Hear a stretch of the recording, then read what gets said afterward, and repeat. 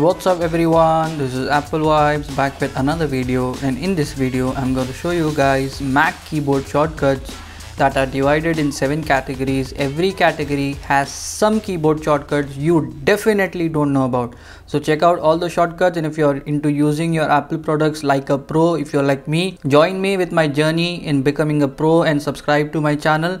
Now without further ado, let's dive in, shall we? The first set of shortcuts I have for you guys are text shortcuts. You can use it anywhere where you can type text, where it be pages or notes app or Safari where you can type text. You can use this keyboard shortcuts. We'll go to the text edit app for this.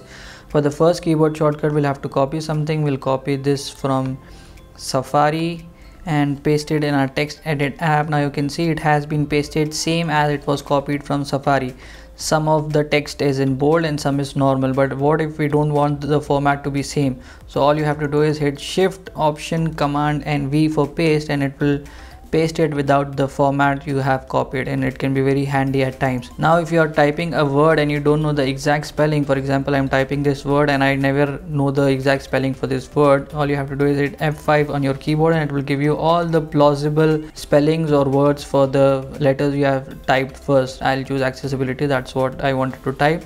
Next one is you can add emoji very conveniently from the keyboard. All you have to do is hit control command and spacebar and it will give you this box to add emojis. You can even search here. I'll search for an emoji happy and you can add it like this directly from here. If you want to know a meaning of a word all you have to do is select that word and hit control command and d.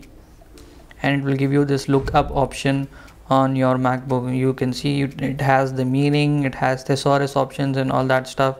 You can get this information directly from here. Now what if you have a very long word and to delete that word you have to hit backspace again or you have to hit the backspace. You have to keep holding the backspace button to delete that big word.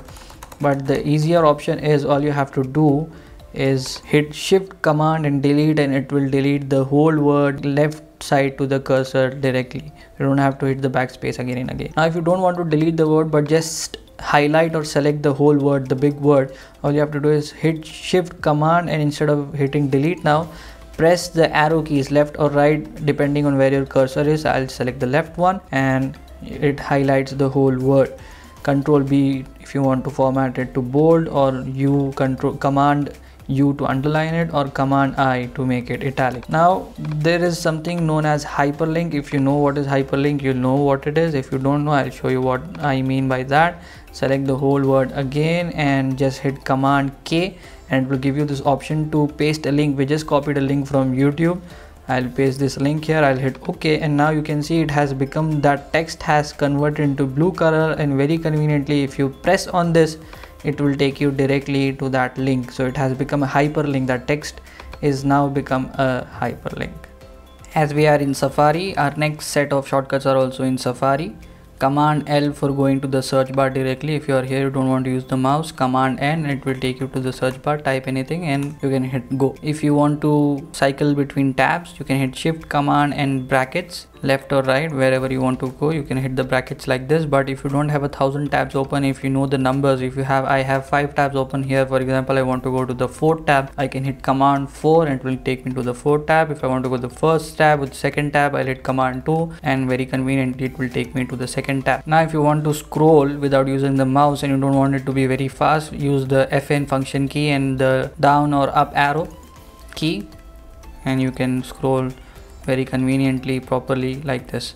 But if you want to go to the bottom of the screen directly hit command and down arrow key you'll go to the bottom of the screen. You want to go to top again command and up arrow key you'll go to the top of the page again. Now if you want to go to the tab view you have to hit shift command and forward slash and it will take you to this tab view. Shift command forward slash again and it will take you back to the normal view. Command t to add a new tab and shift command t to open the recently closed tabs. Something like this the next set of shortcuts i have for you guys are window management shortcuts and there are a lot of shortcuts so i'll try to make it as fast as possible. So the first one is using command tab to cycle between open windows or open apps whatever you can call it.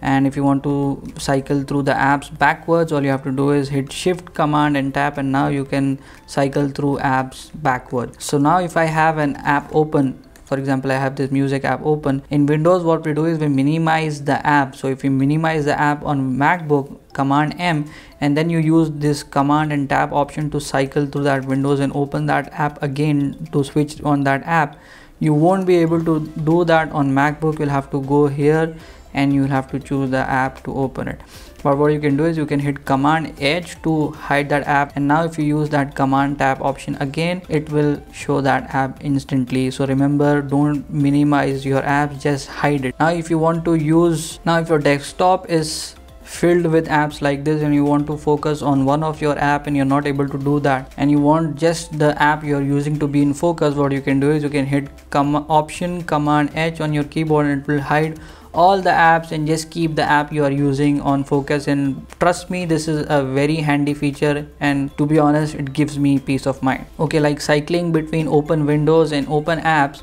If you have many windows open in the same app like in safari i have many windows open.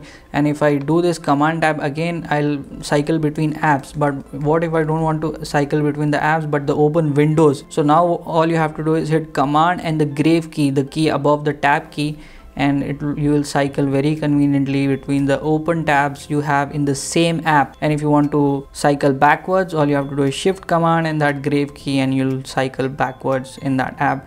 And if you have many windows open if i press command w it will close that window instead of closing that app for good. If you want to close the app for good hit command q on your keyboard and it will close that app for you there are only a few shortcuts in this set but if you are someone like me who only likes to navigate through your macbook using the keyboard and not use the trackpad or your mouse well then these shortcuts are perfect for you. The first one is option command d to hide the dock option command D again to unhide the dock and if you are using you are in some app or something if you want to use the dock instead of using the trackpad or your mouse all you can do is you have to hit control F3 if you have a touch bar macbook control FN and F3 and now the focus will come directly on the dock you can choose one of the apps select it from here directly. If you want to use something from this menu bar and you don't want to use the mouse all you have to do is hit command and forward slash and it will take you to that menu bar. You can use the arrow keys to navigate wherever you want and choose something from that menu bar. And beside that menu bar you have the status bar. If you want to go to the status bar all you have to do is hit command and the right bracket and you'll come this you'll come to this menu bar and you can choose whatever you want from here. Sorry the status menu taking screenshots on a mac is pretty easy and it's the best part of a mac. Actually all you have to do is hit shift command and 3 and it will take screenshot of the whole window something like this. But what if you don't want to take a screenshot of the whole window? All you have to do is hit shift command and 4 and it will give you this option to make a selection. Make a selection wherever you want leave it and it will take screenshot of that selection. What if if you want to make a selection and you made a wrong selection you wanted to change the selection hit shift command 4 something like this. I have made a selection but i want to change the selection. I can't do it directly from here. Hit the space bar and now you can move the box anywhere on the screen and take a screenshot wherever you want. Leave it and it will take that screenshot very conveniently if you want. All the options before taking the screenshot hit shift command 5 and it will give you all these options here to capture the entire screen or record the entire screen and it will give you all these options as well on your macbook the last set of shortcuts but the best one this is using spotlight. If you don't know what is spotlight hit command spacebar on your macbook. You'll get this option to type anything. You can search anything really on your macbook and you have all these menus here documents bookmarks and history and all that stuff. And if you don't want to scroll like this what you can do is you can hit command and the down arrow key and now you'll you'll be able to browse between the menus rather than using the arrow keys and going like this all the way up. And after finding what you need if this is what I need all you have to do is hit command R and this will open that file wherever it is located using finder. So there it is. The file now has been opened in the finder. If you hold the command in spacebar instead of just pressing it like this if you keep it holding command in spacebar you'll get Siri just like this and you can ask Siri to do anything. So this is all for this video guys. Make sure to be subscribed and notified for upcoming useful videos like this. And thanks for watching this video. My name is Mufaddal. This is Apple Vibes. Take care and I will see you in the next video.